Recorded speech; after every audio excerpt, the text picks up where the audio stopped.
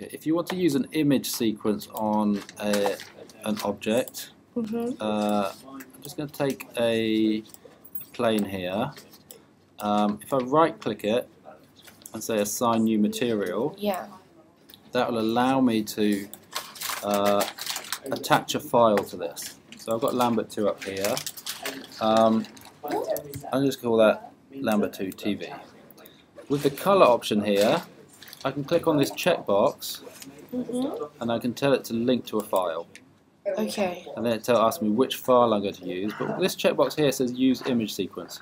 Uh huh. If I click on that one, and if I have an image sequence, uh, I will. I haven't. I'm not sure I've got one in my scene here.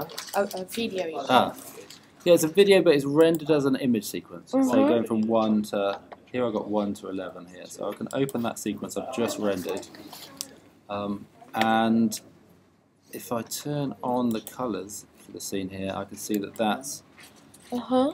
that's in there. So I actually scaled it the wrong way, but you can fix that. Mhm. Um, and then as I click through each of these frames, you can see that starts moving. So Oh, I've got that okay. there. So because it's an image sequence, that would work.